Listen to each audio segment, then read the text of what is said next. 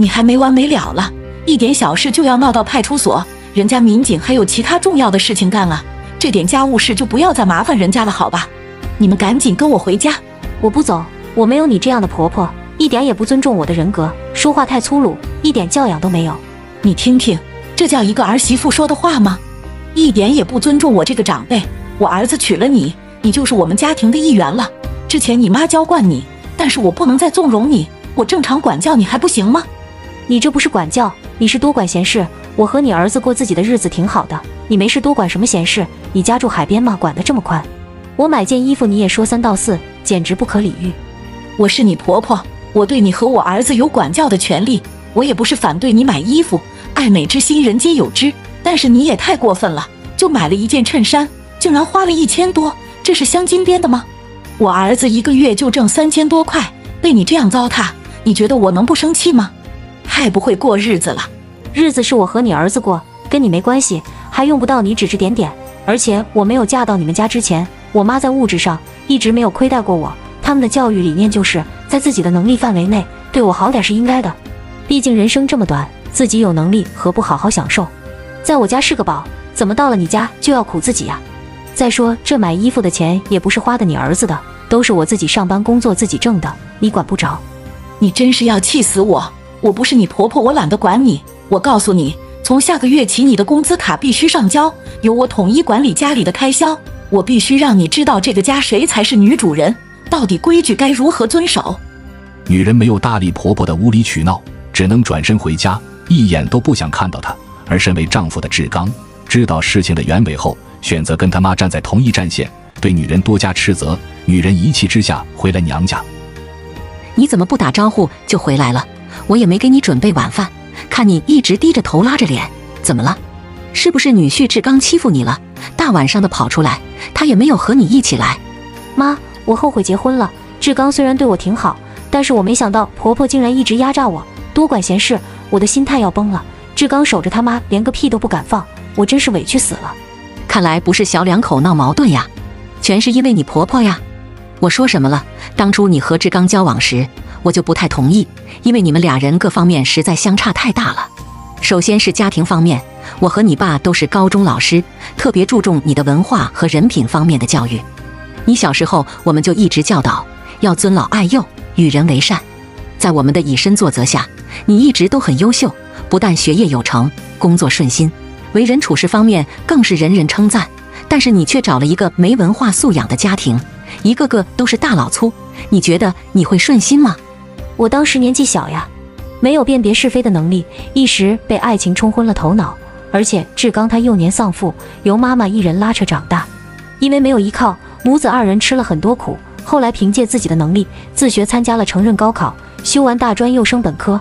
我真的很佩服他的自理能力，却疏忽了他的家庭环境和家庭情况。我想着以后也是我们小两口自己过日子，跟他妈妈没关系。谁知道会今天这样呀？你两个性格相反，你内敛文静，志刚性格外放，一张巧嘴更是能说会道。我其实不看好他，但是不得不说他对你确实不错，言语上温柔体贴，行动上也照顾周到，每次回家都会偷偷给你一些惊喜。看到你们小两口这么恩爱。我也就没过的纠结，而且你铁了心要嫁，我也不便阻拦呀。你说说吧，到底发生什么大的事情了，把你气得这样？我和志刚结婚后，日子过得本来挺舒服，但是没过多久，婆婆就搬着行李住了过来。她说自己在老家成为了孤寡老人，村里人都笑话她没人管的老太太。为了让我们陪她一起过日子，就不管不顾的赖到了我们家。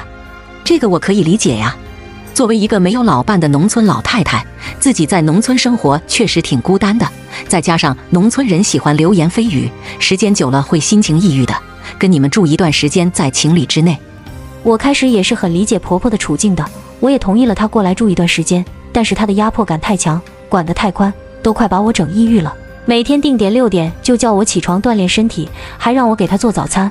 我不想惹事，就从了。但是后来越来越过分，三个人吃饭要做两个人的量。说是剩下浪费粮食，宁可饿着点也不能撑着。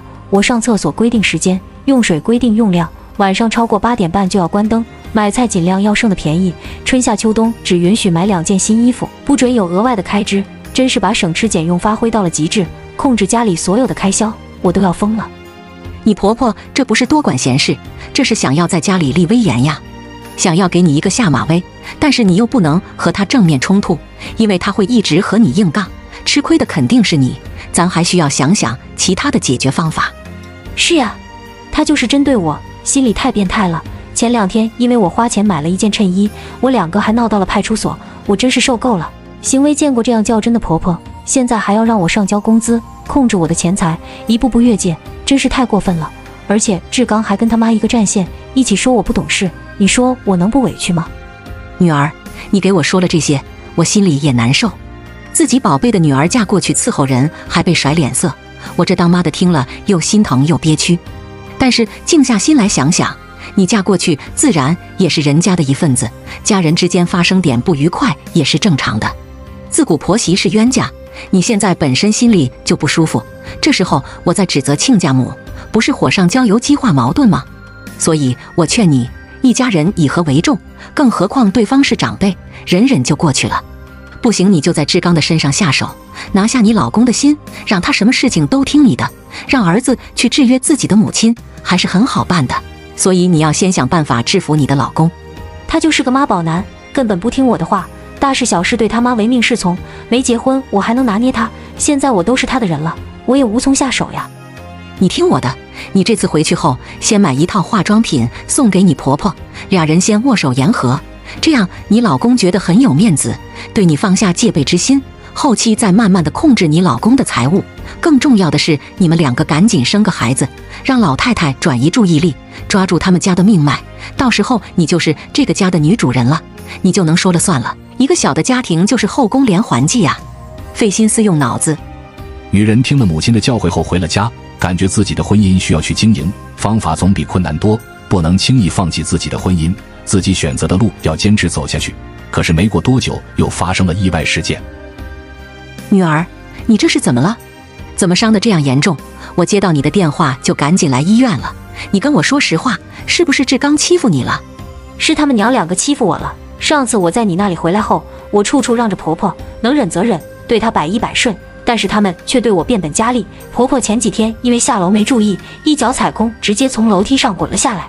去医院检查，说是软组织损伤，骨头没事，需要卧床静养就行。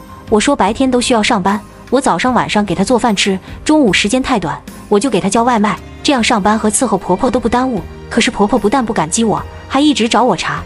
你婆婆生病，照顾的重任肯定会落在了你身上，你是不是说不好听的话刺激她了？老人这个时候受伤，心里很脆弱，你要多安慰，把自己力所能及的事情都干了。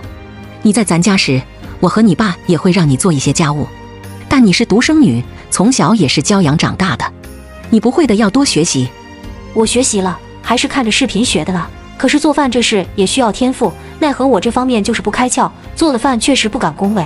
自从结婚后，都是志刚做饭，或者出去买着吃。但是看着婆婆躺在床上，我虽然做饭不好吃，也得硬着头皮上。我每次做的菜都熟了，虽然颜色不好看，有时候会炒糊了，可我尽力了。但是婆婆脸色明显不好看，接二连三的挑刺，不止说我做饭伺候人不行。还嫌弃我家收拾的不干净，嫌看电视浪费电，反正就是看我各方各面都不顺眼。那你跟你老公说了吗？这些事应该他去协调、去安排，全指着你伺候他妈，怎么能忙得过来？又是跟他说了之后，我才变成今天这个样子的。我找志刚诉苦，他不但不体谅我，还说我没孝心，容不了他妈。为此，我们俩人没少吵架。我说一边上班挣钱，一边伺候婆婆太累了，不行，白天可以先找个护工。可是志刚直接让我跟公司请半个月的假，直到照顾他妈彻底恢复后再去上班。我直接拒绝了志刚的无理要求，没想到他竟然跟我动了手，之后就把我弄成这样子了。离婚，必须离婚！这个人渣，没想到他竟然这样畜生，什么事都不管，还回来指责你、埋怨你，最后竟然跟你动手。我必须让他付出惨痛的代价。妈，你先冷静一下，今天叫你来就是想让你上门给我胀胀志气，去吓唬吓唬他。离婚先不要考虑了，因为我今天入院检查的时候，竟意外发现已经怀孕。我相信志刚不是故意的，也是一时冲动，教训他一下就算了。看来天意难违呀！如果离婚，肯定不能要孩子，那样也断不干净。要打掉孩子，我们也于心不忍。思前想后，我去家里给你讨要个公道，决定最后给志刚一次机会。当然，如果他还有下一次，我们铁定让你和他离婚，咱不能这样受气。女孩庆幸的是皮外伤没有造成大的伤害，母亲一气之下带着侄子找上了亲家的门，想要为女儿讨回公道。亲家母，你不是崴到脚了吗？这么快就好了？你看看你养的这个畜生儿子，竟然为了几句话就把我女儿打了，你们家是不是好日子过够了？有这样欺负人的吗？妈，你不要这样说，我不是故意的。昨天也是因为我在公司遇到点烦心事，又因为我妈身体不舒服，所以急火攻心，就控制不住的吵了起来。最后我一生气推了一把你女儿，我真的没有动手打她，你一定要相信我。你胡说，你没动手，我女儿身上怎么青一块紫一块的？难道是她自己精神分裂自残吗？从小到大，我们都不舍得对女儿吼一声，你竟然敢动手！你今天必须给我个说法。妈，我真的知道错了，以后不会她动你女儿一根汗毛。我真心不是故意的，因为我从小节俭惯了，所以才那么大反应。你也知道，我从小就失去父亲，靠我妈一人支撑起整个家，孤儿寡母受的苦肯定不少。即便现在有钱，但刻在骨子里的观念还没有转变。所以，我妈看到你女儿平时的不好习惯，感觉就是浪费，一点也不节俭。而且我看到炒了一锅锅的烂菜也心疼，毕竟都是用辛苦钱购买的。所以我冲动了，以后我会改的，请你们原谅我。你的认错态度很端正。我也不知道真假，但是家暴这事只有零次和无数次。你有了这毛病以后很难改，所以我不想和你纠缠了。我们已经在医院做了验伤报告，给你两个选择：要么马上和我女儿离婚，要么我就报警把你办了。妈，我错了，我那会只是吓唬一下你女儿，我没想真动手。我不想离婚，我们的好日子才刚开始，以后我啥事都听你女儿的，你让我干啥就干啥，你可不能干这种糊涂事啊！希望你说的是实话，这次是最后一次。如果你还敢对我女儿动手，我就直接报警，对你毫不客气，而且让你公司的人都知道你做的这见不得人的丑事，让你身败名裂。我再给你说你一句，你马上就要当爸爸了，我女儿怀孕了，你今后一定要好好对待她。妈妈，你说的是真的吗？我太畜生了，我不是人，不知道媳妇怀孕了。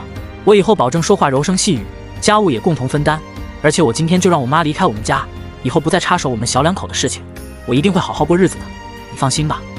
女婿说完这句话，直接跪下了，表示了自己改过自新的决心。经过这次的事件，我也明白，一味退让有时并不能换得对方的体谅，反而会让他得寸进尺，认为你好欺负。我们娘家人要做女儿身后强大后盾，给她最大的安全感，为她遮风避雨。